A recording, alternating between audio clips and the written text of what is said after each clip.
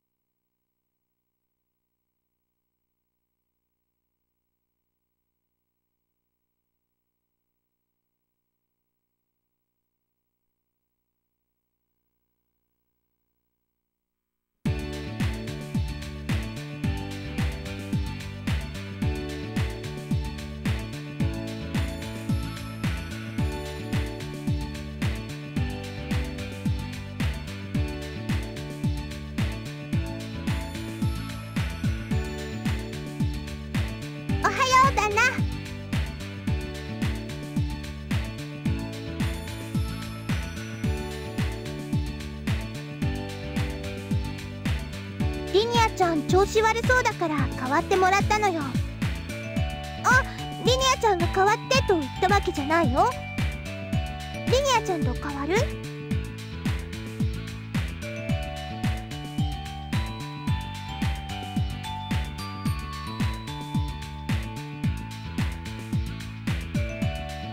そうよかった。すぐに朝食の用意をしますね。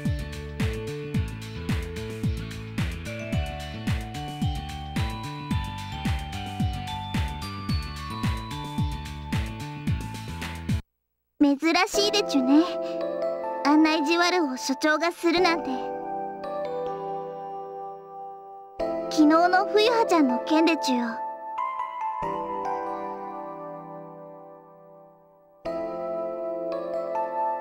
あまり物事に本気にならない所長が本気で腹を立ててたみたいでちゅね。少し意地になって。修羅場をくぐり抜けてきた所長からしたら何もわからない分際で甘えたこと言っている。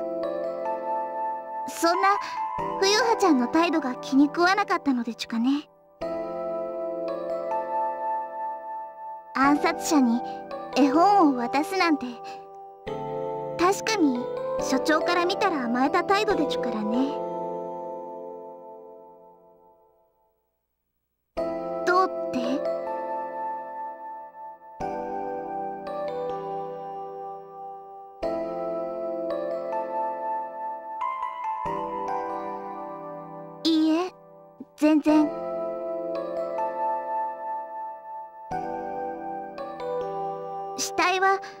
バケツ3杯分しか回収できませんでしたが冬葉ちゃんは全く動じることなくそのバケツの中の男に本を届けましたよ。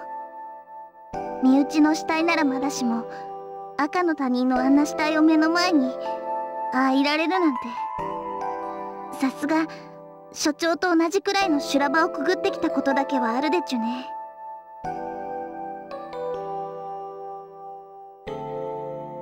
これ彼女の資料でちゅ。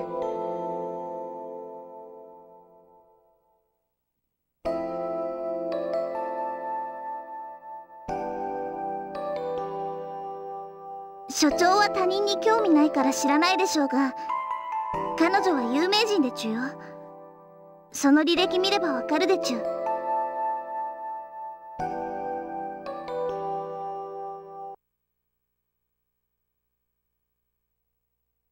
ここ近年行われた大規模な作戦で最も交戦が激しかった場所に配属されてまちゅ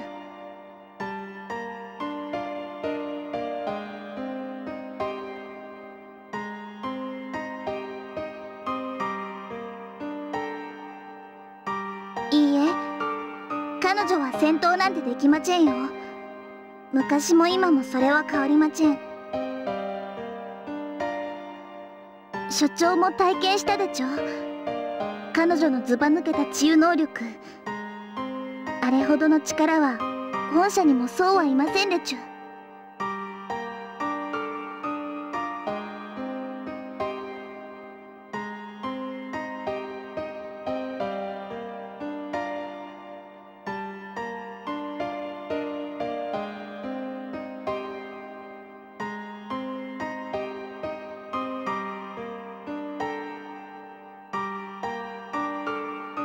彼女が大規模な作戦に参加させられたのはカンパニーの意思でちゅよ。でも最前線に配属されそこで人々を癒していたのは彼女の意思によるところでちゅ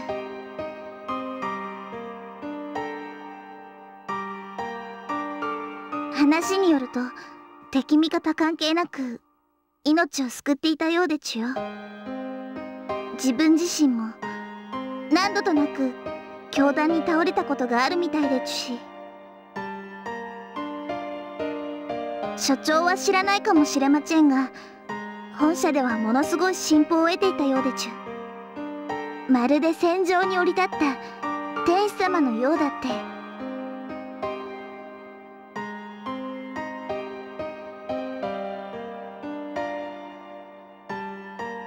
本社の上ではナイチンゲールを気取るバカなメイドとして嫌われてたみたいでちゅよ。確かに後半の方は本社の意思で最も危険な作戦に参加させていたようでちゅから。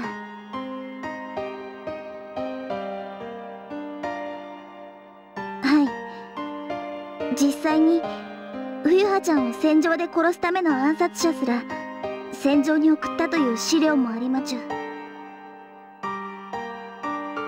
でもその度に作戦に参加した兵士たちが冬葉ちゃんを守ったみたいでちゅよ戦い後期は敵も彼女だけは狙わなかったという話があるぐらいでちゅからね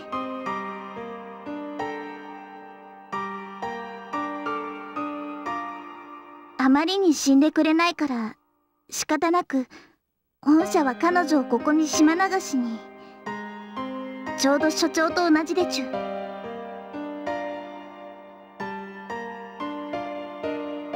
冬葉ちゃんは決して何も考えないかまたとな娘じゃないでちゅ多分この島で一番人間の死を見つめそして人間の悲しさを知る女の子かもしれないでちゅね。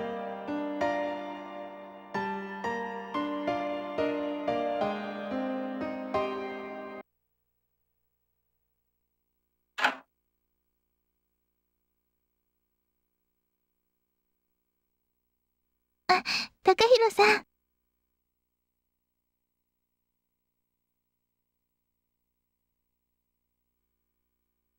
そろそろ来られる頃だと思っておりました。お時間ありますか？今日は天気も良いことですし、お外でお茶なんかご一緒できたら嬉しいのですが。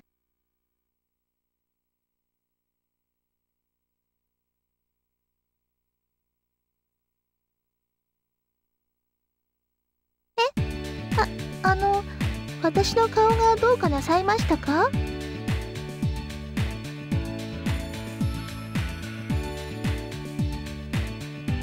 いお外で。今日は風がないので暖かいですよ。たまにはどうでしょうか？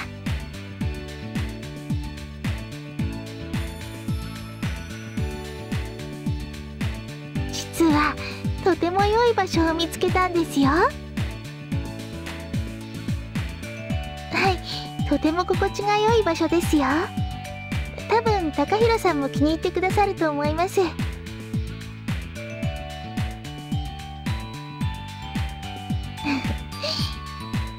秘密です。どうですか？お茶をご一緒していただけますか？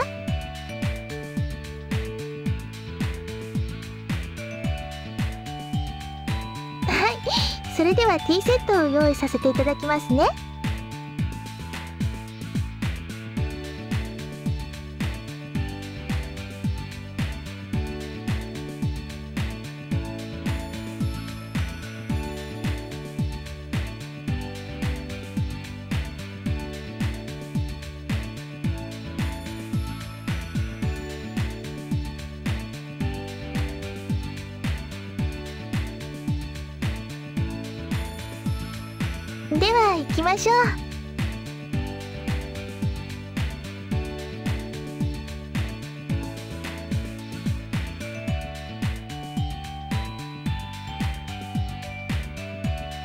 こちらですよ高弘さん。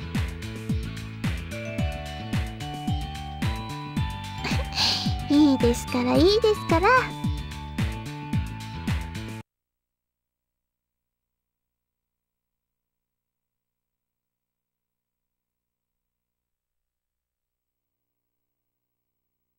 ここです。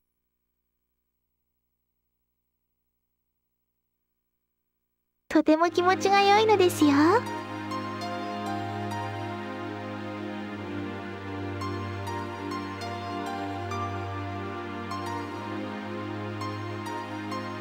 実はお茶をいただくのにとても良い場所なのですよ。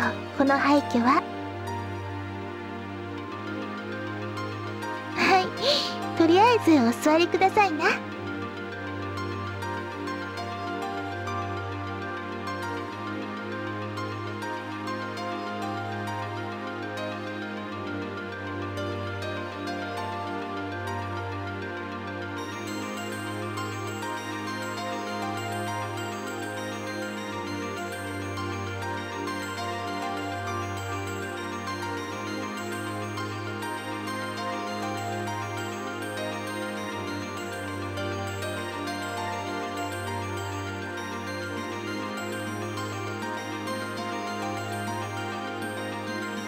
さんに少し教えていただいたのですよ。リニアさんはお料理とかとてもうまくて羨ましいです。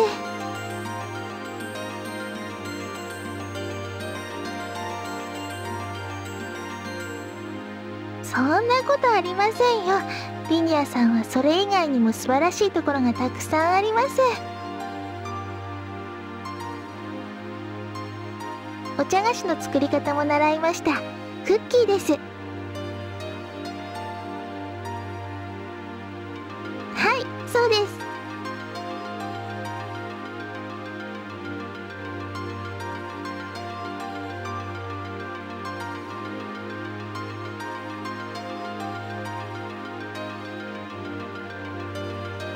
くできていると良いのですが召し上がっていただけますか？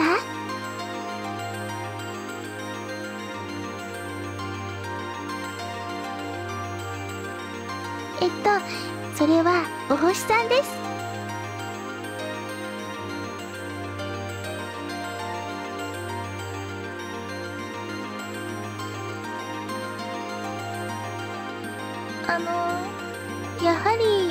様には見えないでしょうか。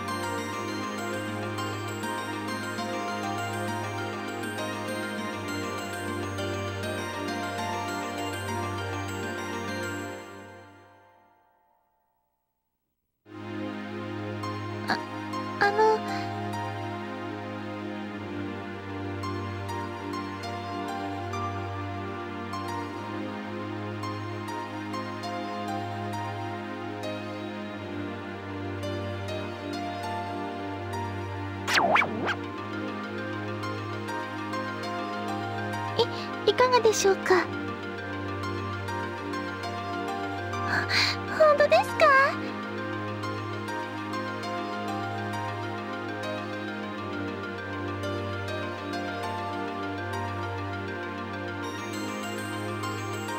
はいありがとうございます。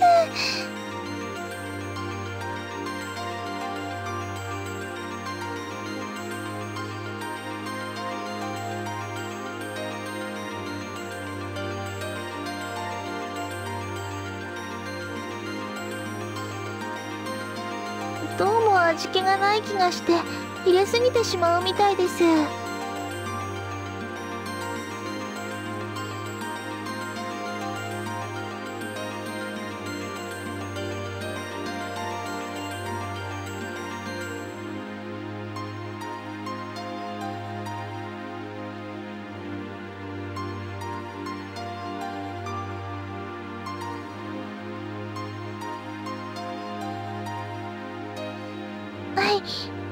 それとありがとうございます。なんやかんや言って私の料理を食べていただいて。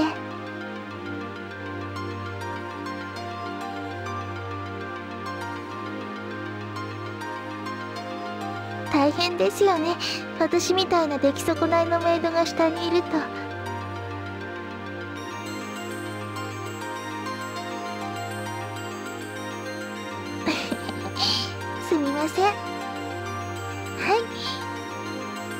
そうさまでした。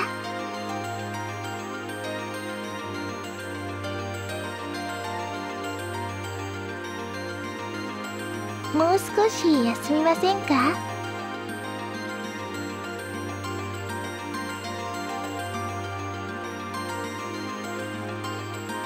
はい。そうだ高弘さん。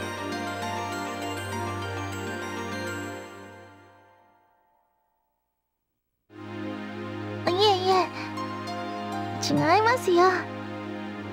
その寝方だと手がしびれませんか？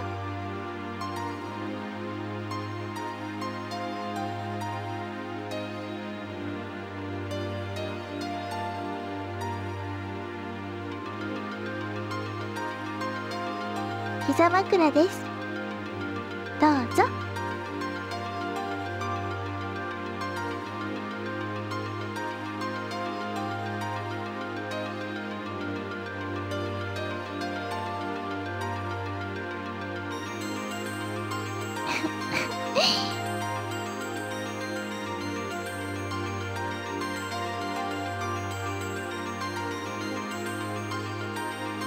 なんか高弘さんの頭が私の膝の上に乗っているなんて不思議だなと思いまして。高弘さんはいつも孤独の中にあって私は遠くから見ているだけでしたから。それがほんの少しでも近づけたような気がして。